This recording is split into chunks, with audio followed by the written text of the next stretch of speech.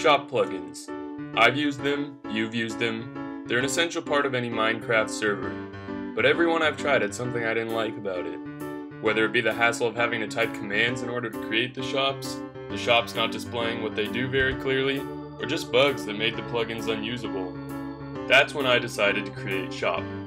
With this plugin, shops are easy to set up, easy to use, and they clearly display what they are selling, buying, or bartering with the combination of a sign and holographic display.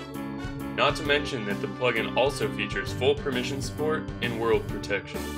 In this video, the shops will be utilizing an item economy using emeralds as the currency, but you can change the currency on your server to another item or change the economy to use a virtual currency just as easily.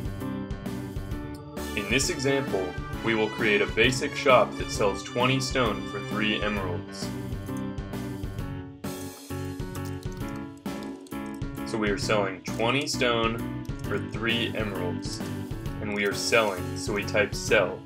And then you just hit the sign with the item you want to sell, which is stone, and you have a shop. And don't forget to stock the shop. It won't be able to sell any stone if there isn't any available in its inventory. Now another player can click the shop's chest to get more information on the item being sold, showing its display name, description, and enchantments, along with a more detailed price breakdown. And if they want to buy the item, they can just right-click the sign. Let's say you want to buy powered rails but don't have any. You can create a buying shop by doing the same thing as before, but this time, instead of setting the last line to sell, set it to buy.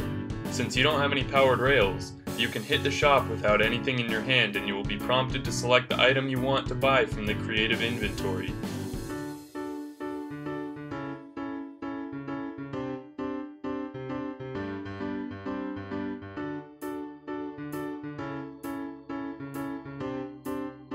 Or let's say you have a lot of extra dirt from digging and you want to trade it for cobblestone.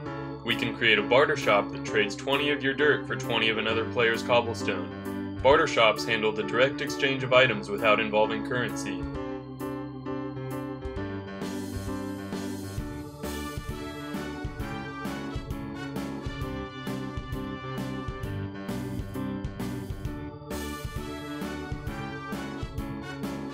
You can also make any of these shops admin shops, meaning they don't need to be stocked in order for players to use them, by simply adding the word admin to the last line of the sign when creating them. If you are interested in this plugin, you can click the red button to go to the download page, or check out the link in the description. Thanks for watching.